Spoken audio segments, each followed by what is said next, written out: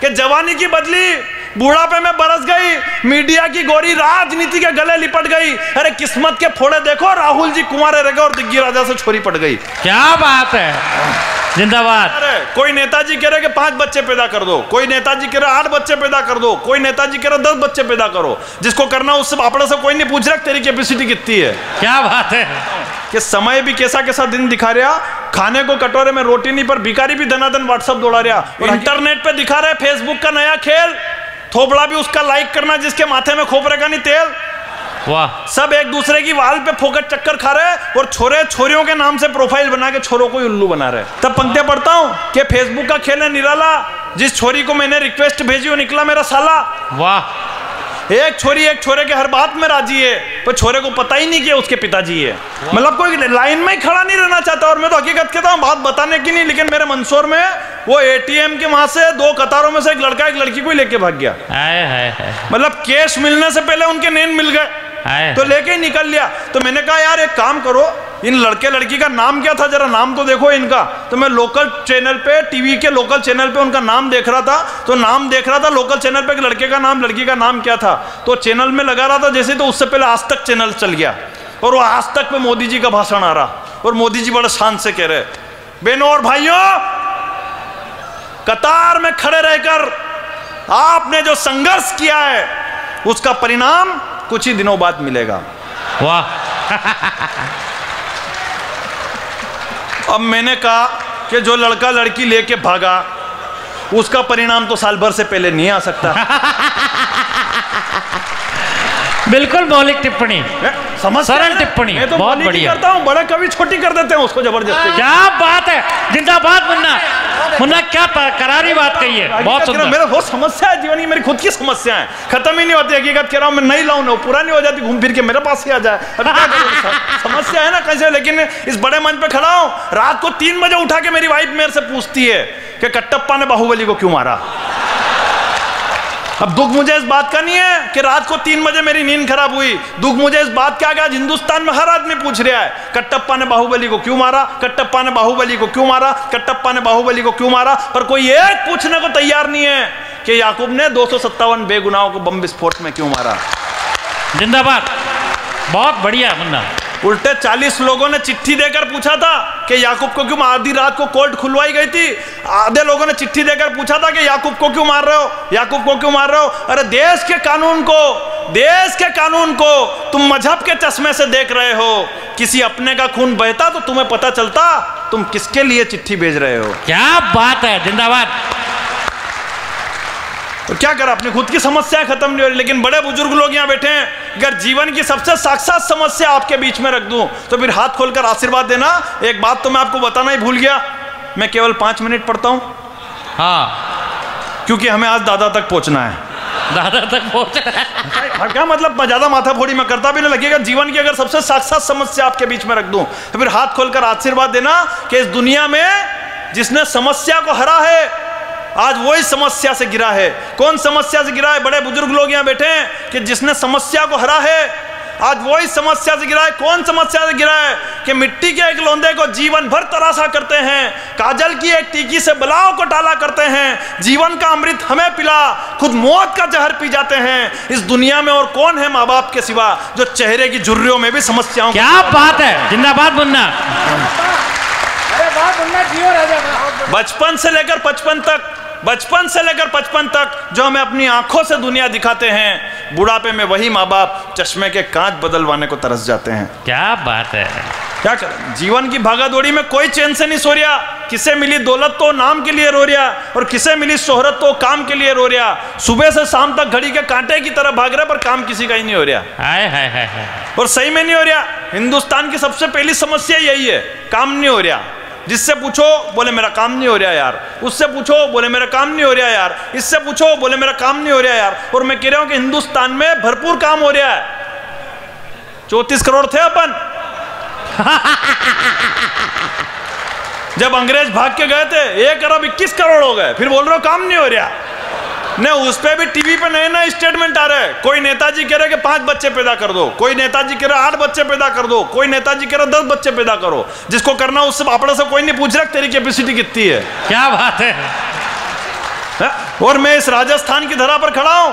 प्यारे भारत देश पर एक एहसान करो फोकट की भीड़ इस देश में मत भरो और दस निकम में पैदा करने से ज़्यादा अच्छा है।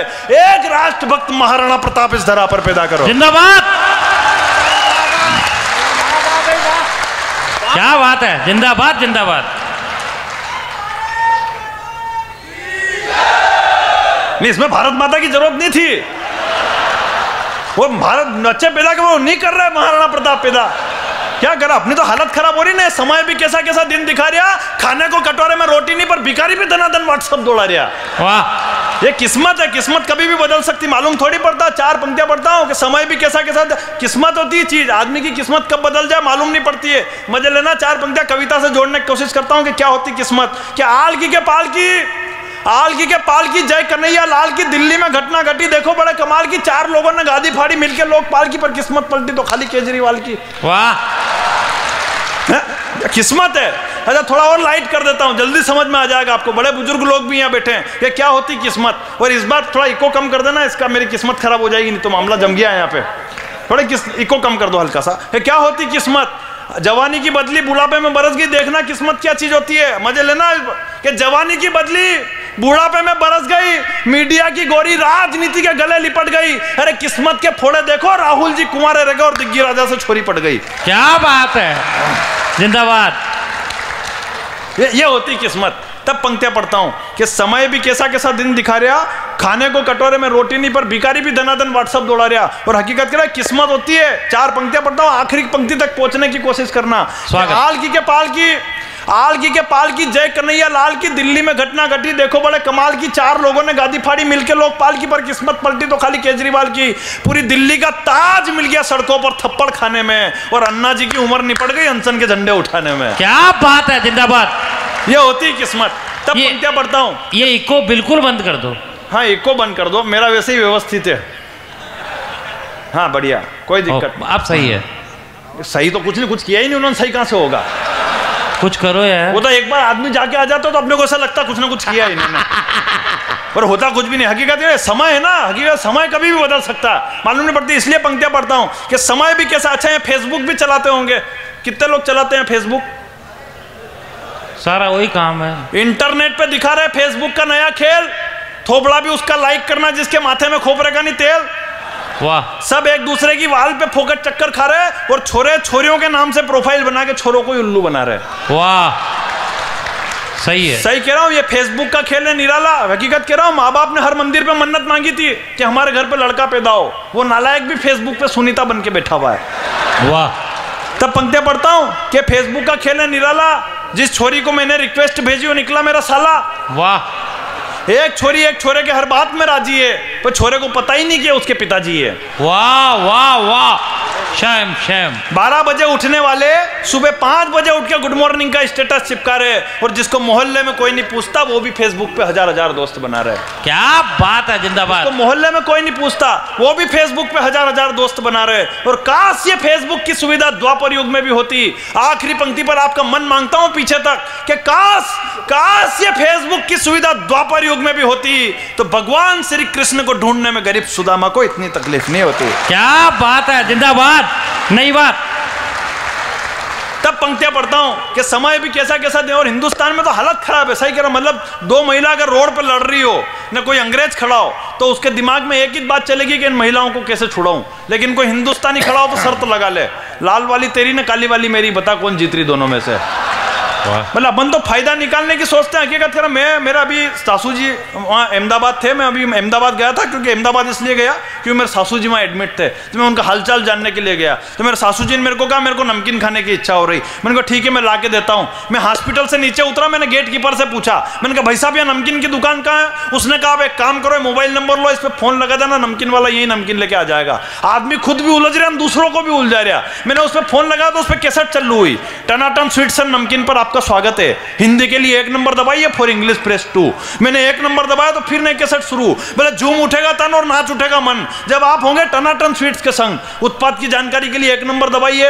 हलवाई से बात करने के लिए दो नंबर दबाइए। पिछले लेन देन की जानकारी के लिए तीन नंबर दबाइए। पिछले मेन्यू में वापस जाने के लिए पाँच नंबर दबाइए। मैंने फिर एक नंबर दबाया तो फिर नई कैसेट शुरू। बोले, उत्पाद की विस्तृत श्रृंखला में आपका स्वागत है।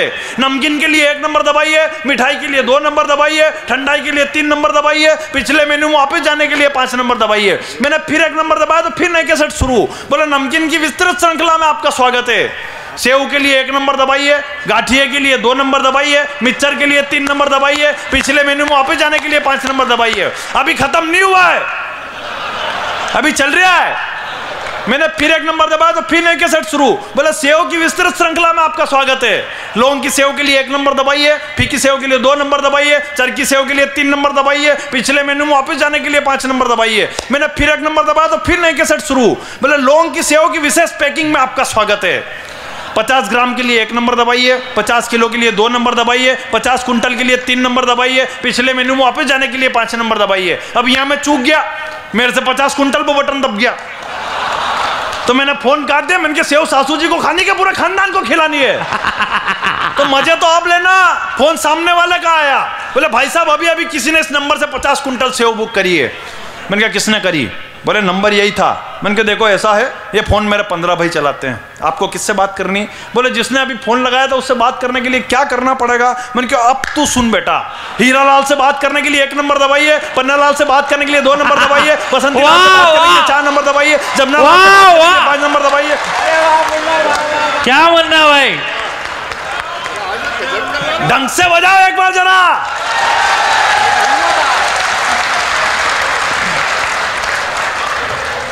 अगले ने फ़ोन ही काट दिया। अरे, अपन तो मालवा मेवाड़ वाला आदमी हर प्रॉब्लम से निपट सकते हैं। मैंने कहा, जीवन में समस्या कहीं से भी आ सकती है। मैं बड़े मन पर खड़ा हूँ। मैं आदरणीय मोदी जी, राहुल जी, सोनिया जी, आडवाणी जी, गडकरी जी, जेटली जी, राजनाथ जी, मैं सबको जानता हूँ।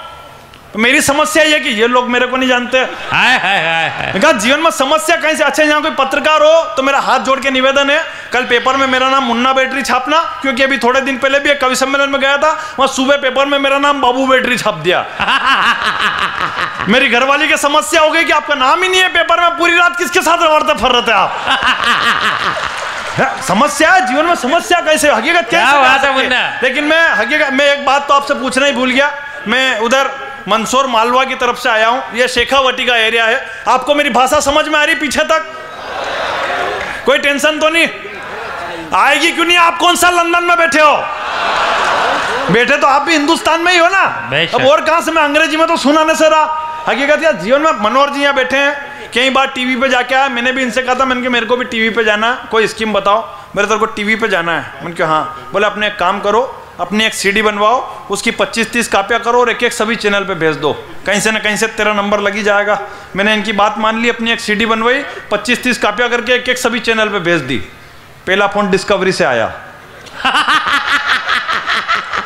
बोले पूरी दुनिया के जानवर छांट मारे तू कैसे बच गया? अच्छा मेरी क्या नाक लंबी थोड़ी गुरुवर? तो दूसरा फ़ोन दूरदर्शन वालों का आ गया। बोले रामायण फिर से बन रही जटायु की आवश्यकता पड़ रही है। वो तीसरा फ़ोन तो अमूल की कंपनी का है। बोले तेरा फ़ोटो चाहिए। मैंने कहा क्या करोगे? बोले अमूल घी के पैकेट पे चिपकाएँगे। मैंने कहा लेना हो तो मनोहर जी का ही लो। घी खाए हुए तो यही दिख रहा है। बोले इनका तो है ही है। तेरा फ़ोटो तो वहाँ चिपकाएँगे कि नकली घी खाने के क्या परिणाम होते हैं? वाह मुन्ना वाह। हालाँकि मैं भी घी खा के ही बड़ा हुआ हूँ। मैं कोई कुरकुरे खा के बड़ा नहीं हुआ हूँ। सही कह रहा हूँ कुरकुरे की आ गई इस देश में बाहर बच्चे बच्चे का हो गया मुख्य आहार नहीं मिले तो घर में करते अत्याचार और मिल जाए तो समझते बहुत बड़ा चमत्कार। अरे फूल जैसे बच्चों को आप घी की जगह कुरकुरे का जहर खिलाओगे तो बताओ इस देश की रक्षा के लिए सुभाष चंद्र बोस और भगत सिंह कहाँ से कहाँ से लाओगे? क्या बात है जिंदाबाद। आदमी दुबला पतला हो तो लोग माजने खराब करते हैं और सही कोई कोई वो मीटर वाली बात नहीं हालाँकि दुबला आदमी हो, कोई फ़र्क नहीं पड़ता कॉन्फिडेंस होना चाहिए। मैं दुबला हूँ, मैं काम कर रहा हूँ कि नहीं कर रहा हूँ कॉन्फिडेंस के साथ। और हकीकत है, बॉडी हो, नहीं हो, कोई फ़र्क नहीं पड़ता है। कॉन्फिडेंस होना चाहिए। युवा लोग मेरे सामने बैठे हैं, चार पंक्तियाँ पढ़ता हूँ मस्ती की, कि बॉडी हो, नहीं हो, कोई फ़र्क नहीं पड़ता है। कॉन्फिडेंस होना चाहिए कि इस दुनिया को उसने जीता, जो बुद्धि और साहस से बना वीर, वरना ऐश्वर्या ले गया, अभिषेक ने, कैटरीना ले गया, रणवीर, सलमान ने ऐसी बाडी रख के कौन सा मार लिया तीर? क्या बात है, जिंदाबाद? कॉन्फिडेंस होना चाहिए ना। वो सलमान खान से मेरे को फिर याद आया। कुछ लोग कहते हैं कि मेरा देश असहिष्णु हो गया है। अभी एक आतंकवादी को फांसी दी गई थी तब सलमान खान को बड़ी तकलीफ़ हुई थी। तब चार पंक्तियाँ बड़ी चार्जिंग वाली पढ़ना चाहता हूँ आपका मन माँगता हूँ इस पंक्तियों पर कि सुनो मियाँ सलमान कैसा तुम्हारा ईमान? पर्दे पर कहते हो देश महान पीछे से करते हो आतंकी गुणगान सूरत तुम्हारी हीरो वाली सीरत से बेईमान। फिर क्यों करते हो दोहरे चरित्र पर तुम इतना अभिमान? अरे ना तो तुम बजरंगी हो ना हो भाईजान। क्या बात है जिंदाबाद। ना तो तुम बजरंगी हो ना हो भाईजान क्योंकि बजरंगी बनने के लिए तो सीने में प्रभु श्री राम को बसाना पड़ता है। क्या बात नहीं सही की रहा हूँ मैं? हाँ। बजरंगी को यूँ ही बन जाता है कि हिंदुस्तान में उस पवन पुत्र की लीला को कोई अब तक समझ न पाया। भक्तों की पीड़ा को हरते जब जब संकट आया। अरे थल से लेकर नब तक में जिसने तूफ़ान मचाया, लंका फूकी पर्वत का रावण को धमकाया और कई असुरों के छक्के छुट गए घोटे की एक चपेट में। त्रेता युग में घुसे थे श्रीलंका के गेट में और कलयुग में निकले बराक ओबामा की जेब में। क्या बात है? जिंदाबाद भाई।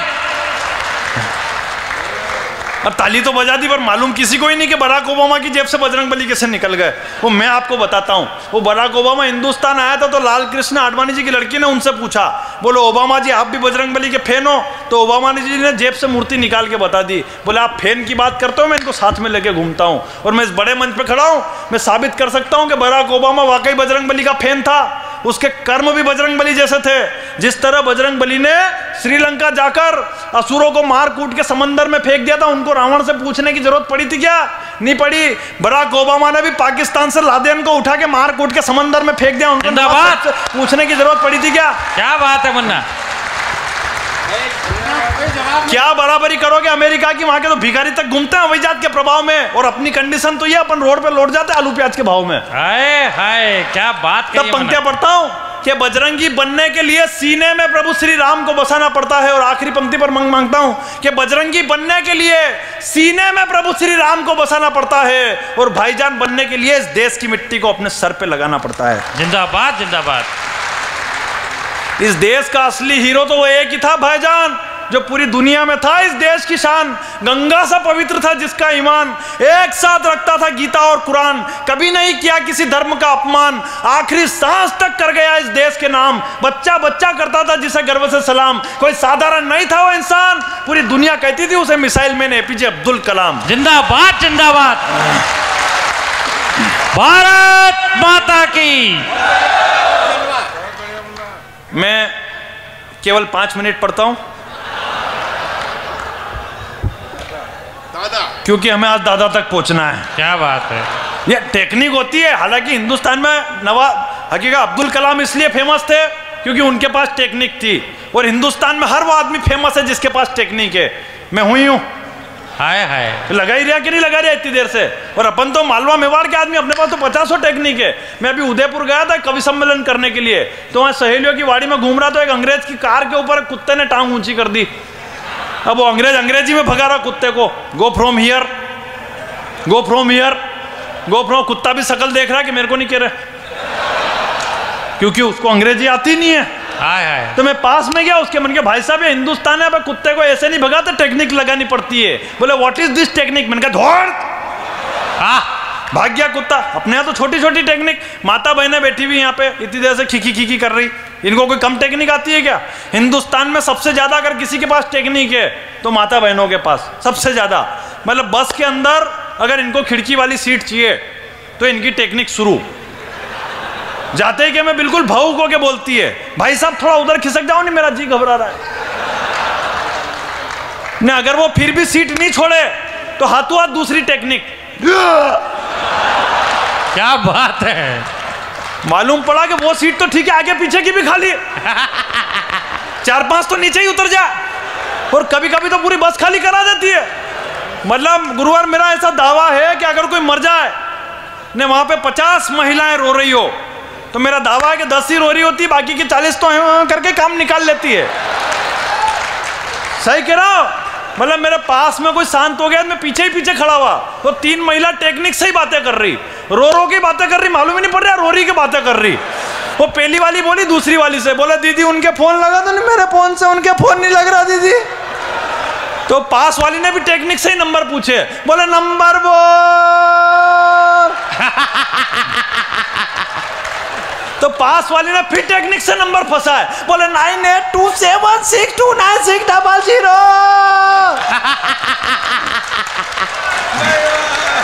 अद्भुत मुन्ना अरे मज़े तो आप लेना। वो पीछे से तीसरी लेडीज़ बोली बोले चुप हो जाओ दीदी रो मत आगे ज़ीरो लगा लेना राजस्थान किसी में. वाह वाह वाह।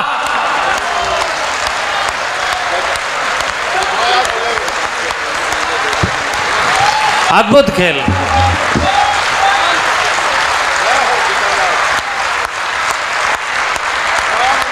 मुन्ना भाई का